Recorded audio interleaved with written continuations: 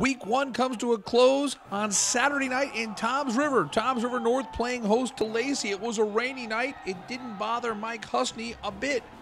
Second quarter, two yards. Husney finds the zone. It's 7 0 Mariners in front.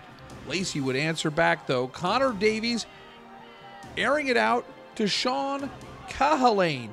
And watch this effort. He drags defenders into the end zone. We're tied at seven with 22 seconds to go in the half. So it looks like it's a tie game going into the locker room, but hold on. Toms River North has an answer.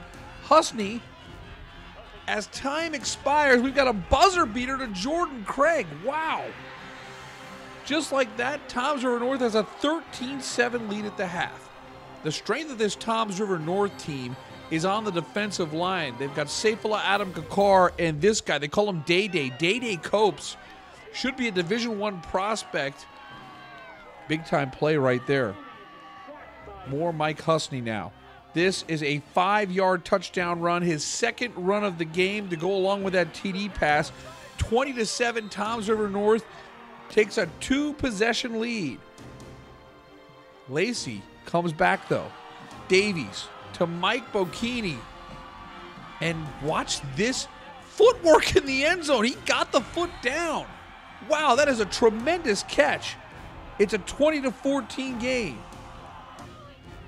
But then Toms River North turns to the ground game. They had 300 yard rushers, including Parker Day. 31 yard run puts Toms River North ready to strike. The give is to Asante Moore. This is a two yard touchdown run. It's 27 14 Toms River North. And then the Mariners defense would put this game away. Mike Seawick makes the INT. It was nearly a pick six, but nonetheless, it's a victory for Toms River North. They had just one win last year. They get it done on Saturday night with a 30 to 14 win over Lacey. Congratulations to the Mariners on a great football game. Mike Husney had a fantastic performance.